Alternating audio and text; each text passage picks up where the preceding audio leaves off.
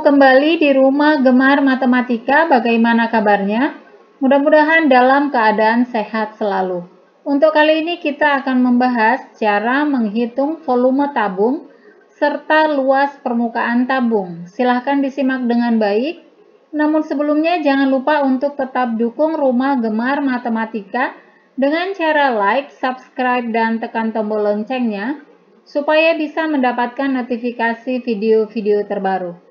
Kita masuk ke pembahasan dan contoh soalnya, kita akan mulai dari soal yang pertama. Perhatikan di sini sudah ada gambar sebuah tabung di mana tabung ini diketahui jari-jarinya yaitu 21 cm serta tingginya 40 cm. Kita akan menghitung volumenya. Untuk menghitung volume tabung, kita menggunakan rumus yaitu Volume sama dengan luas alas dikalikan dengan tinggi. Perhatikan di sini ada luas alas. Alas dari tabung itu berbentuk lingkaran. Maka untuk menghitung luas alasnya kita menggunakan rumus luas lingkaran. Rumus yang kita gunakan untuk menghitung luas lingkaran adalah V kali R kuadrat. Maka luas alasnya menjadi VR kuadrat kemudian dikalikan dengan tinggi yaitu tinggi dari tabung tersebut. Sekarang kita akan hitung, kita mulai volume sama dengan P. Untuk P ini ada dua ya. P yang pertama kita gunakan yaitu 22 per 7. 22 per 7 kita gunakan jika jari-jari ataupun diameternya merupakan kelipatan 7. Kelipatan 7 itu terdiri dari 7, 14, 21, 28, dan seterusnya. Atau penjumlahan 7 secara berulang atau boleh juga perkalian 7 ya. Kemudian untuk yang kedua, Pi-nya yaitu 3,14. Untuk 3,14, ini kita gunakan jika jari-jari ataupun diameternya bukan merupakan kelipatan 7. Nah, sekarang kita perhatikan di sini Pi. Yang mana yang akan kita pakai? 22 per 7 atau 3,14. Maka untuk mengetahuinya kita perhatikan jari-jarinya. Jari-jarinya di sini adalah 21 cm. Nah, 21 ini kelipatan 7 ya. Maka yang kita pakai Pi-nya adalah 22 per 7. Kemudian dikalikan dengan R kuadrat jari-jarinya. Jari-jarinya 21 berarti dikali 21 dikali 21. Selanjutnya dikalikan tingginya yaitu 40. Ini bisa kita bagi 21 dibagi 7 sama dengan 3. Kita hitung volume sama dengan 22 dikali 3 sama dengan 66. Selanjutnya kalikan 21 dikali 40 sama dengan 840. 66 dikali 840 sama dengan 55.440 cm kubik. Maka volume dari tabung tersebut adalah 55.440 cm kubik. Ingat, untuk satuan volume kita menggunakan kubik atau pangkat 3 ya. Nah, sekarang ini sudah selesai volumenya. Kita akan lanjutkan menghitung uh, luas permukaan dari tabung tersebut. Kita masuk ke pembahasannya. Untuk menghitung luas permukaan tabung, rumus yang kita pakai adalah luas permukaan sama dengan 2 kali Pi kali R dikali R tambah T atau jari-jari tambah tinggi. Tinggal memasukkan sesuai dengan rumusnya saja ya. Luas permukaan sama dengan 2 kali, turunkan 2 kalinya. Selanjutnya dikali Pi. Masih sama ketentuannya, untuk Pi itu 3,14 atau 22 per 7. Karena di sini 21 yang berarti kelipatan 7, maka Pi yang kita pakai adalah 22 per 7.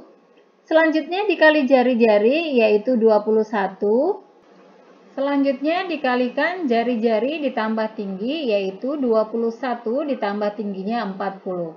Kita hitung 21 bisa dibagi 7 hasilnya sama dengan 3. 2 dikali 22 sama dengan 44. 44 dikali 3 sama dengan 132. Kemudian dikali 21 ditambah 40 sama dengan 61. 132 dikali 61 sama dengan 8052 cm kuadrat. Maka luas permukaan tabung tersebut adalah 8052 cm kubik. Nah, kalau tadi di volume kita menggunakan satuan kubik, untuk luas itu kita menggunakan satuan kuadrat atau pangkat 2. Nah, sekarang kita akan lanjutkan ke contoh berikutnya. Contoh berikutnya yaitu di mana jari-jarinya bukan merupakan kelipatan 7 ya. Nah, perhatikan di sini sudah ada sebuah tabung di mana jari-jarinya 6 cm. Kemudian untuk tingginya 20 cm, kita akan hitung volumenya. Rumus yang kita pakai untuk menghitung volume tabung tadi adalah langsung saja ya, yaitu Pi kali R kuadrat dikalikan dengan tinggi. Perhatikan untuk Pi, kita pakai yang 22 per 7 atau 3,14.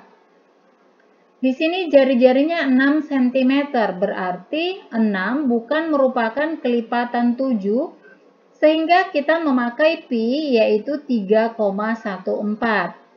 Selanjutnya dikali R kuadrat berarti dikali 6 dikali 6, kemudian dikalikan dengan tingginya yaitu 20. Kita hitung ini bisa kita hilangkan nolnya, satu. Kemudian di sini koma ini kita bisa pindahkan satu langkah karena kita coret satu angka nol. Komanya kita pindahkan ke belakang satu langkah berarti menjadi 31,4.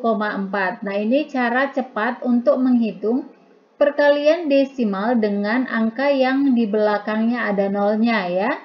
Sekarang kita hitung, turunkan saja 31,4, kemudian kalikan 6 dikali 6 sama dengan 36, 36 dikali 2 sama dengan 72. Kita hitung 31,4 dikali 72 sama dengan 2260,8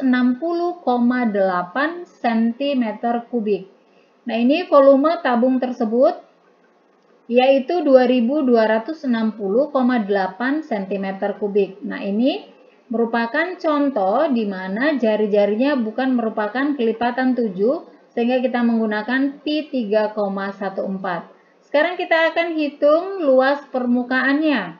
Rumusnya tetap sama untuk luas permukaan yaitu 2 dikali pi dikali r dikali r ditambah t.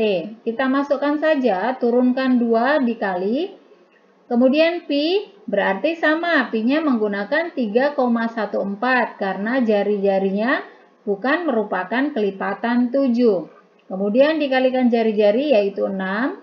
Selanjutnya ditambah jari-jari dikali tinggi, maka dikali 6 ditambah 20. Kita hitung 2 dikali 3,14 sama dengan 6,28, kemudian dikali 6 sama dengan 37,68. Kemudian dikalikan dengan 6 ditambah 20 yaitu 26. 37,68 dikali 26 hasilnya sama dengan 979,68 cm kuadrat. Nah ini luas permukaan tabung yang kedua yaitu 979,68 cm kuadrat. Nah, demikianlah pembahasan kita kali ini, yaitu cara menghitung volume tabung serta luas permukaan tabung. Mudah-mudahan video kali ini bisa bermanfaat. Terima kasih dan sampai jumpa.